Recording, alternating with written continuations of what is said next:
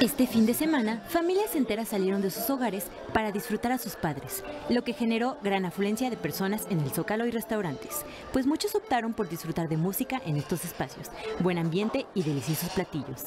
No obstante, algunos locales esperaban más comensales, debido a la fecha y celebración establecida. De hecho, no se ha llenado por completo. A pesar de que es el Día del Padre, se supone que tenía que haber mucha gente y hay muy poquita. Aunque restaurantes no lograron el repunte esperado, de acuerdo a lo señalado por trabajadores, los padres de familia no dejaron de hacerse presente en las mesas de los establecimientos. De todas las edades y acompañados de sus seres, disfrutaron este día tan importante para ellos. Y hoy, la verdad, estoy contento y además y un poco triste.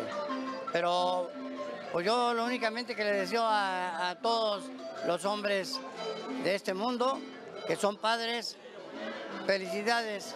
Cada día del padre es diferente y los poblanos lo disfrutan de distinta forma, algunos celebrando y otros trabajando. Sin embargo, esta celebración ha servido de gran ayuda para seguir uniendo familias. Con imágenes de Enrique Burgos, Andrea Lezama, Fuerza Informativa Azteca.